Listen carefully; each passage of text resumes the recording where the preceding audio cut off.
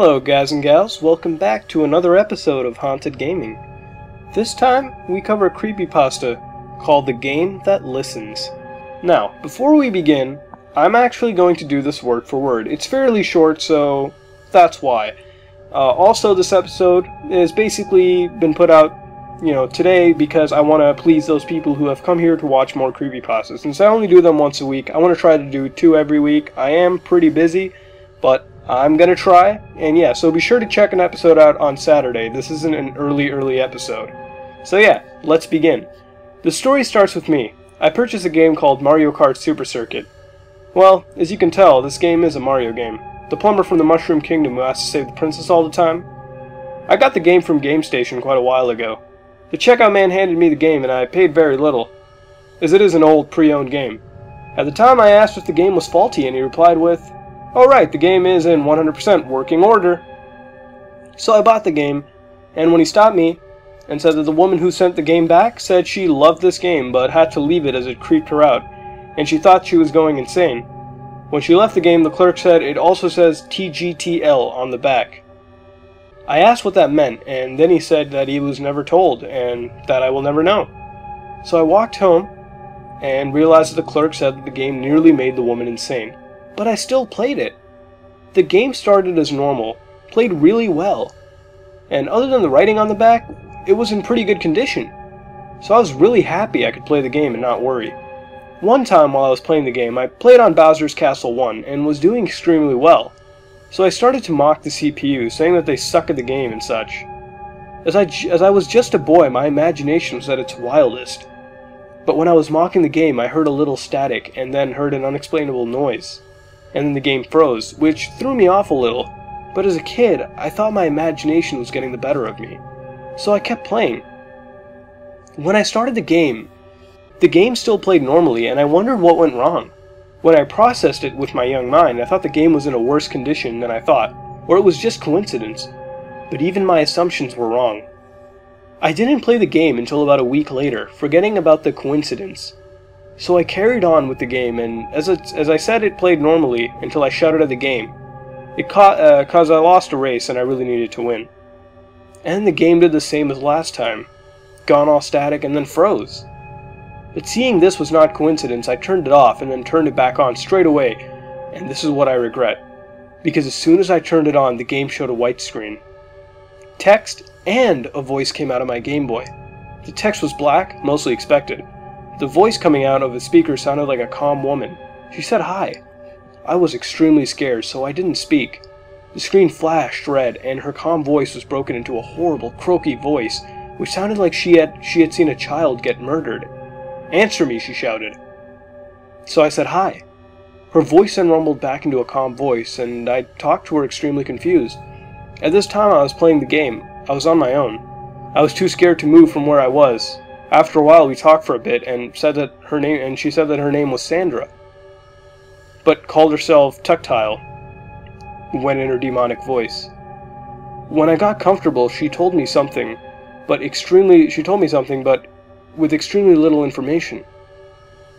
As I got used to talking to her, she suddenly stopped talking and all I could hear was ripping and tearing, no visual content. Suddenly, the game's main screen showed Mario, Luigi, Peach, and Toad all sleeping, or dead, and the game blacked out. I was, of course, watching without any movement. I was frightened. It then faded back to the white screen and it said after a few minutes, Hello! There was no answer. I decided to say hello again, and then the game made a clicking noise, and then showed Mario's head twisting. Every time I said a word, Mario's actions differed. I said Sandra, and Mario closed his eyes. I said hello again, and then Mario opened them again. I then said hello for the final time, and Mario smiled demonically. While spinning, this continued for a long time, and then he started laughing maniacally. I waited for a few more minutes, but nothing but the sound of the static getting louder was heard. I turned off the Game Boy as I sat frozen in place, thinking, staring into the blackness of the screen. I managed to turn on the Game Boy another time. It started normally. The game was back to normal. It has been fine since this moment in history. It still makes me freeze when I think about it, but luckily, it's never happened again. What happened after that day? I had a few recurring right nightmares every now and then, but that only happened for a week or two, and then the nightmares left my system. I also didn't play the game after testing one track for about three months. My memory of what I talked about Sandra is quite weak as well. I think I got six questions, but only remember three. This is because I was scared by what happened at the end of my unbearable journey. Question 1. Who are you? My, my name, Sandra. Question 2. Sandra, what does TGTL stand for? The game that listens. Question 3. Are you a real person, Sandra? Of course. You are speaking to me right now. I may not be here with you, but we still are talking. This is all I remember, so I'm very sorry, but please be careful of what you buy. You never know what could happen. Now, wasn't that interesting? It was a little on the short side, but it was still really good. I really like this because it actually brings something new to the table. A game that listens. I mean, it'd be pretty creepy if a game ever talked to me. I also like this this wasn't gory or it just depicted video game characters getting mangled and dying for no apparent reason other than shock value.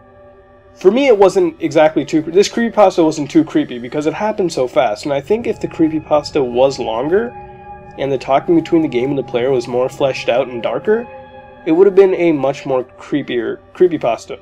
Because as of now, it just happened really fast, and it didn't make it as creepy as it really could have been.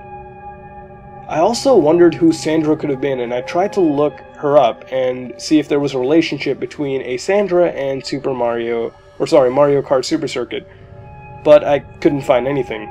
No results at all. I think it also would have been creepier you know, if the player would have talked to someone else, like a deceased serial killer, you know, sort of to, to sort of add more creepiness, because, I mean, imagine if they were talking to a Daka, right?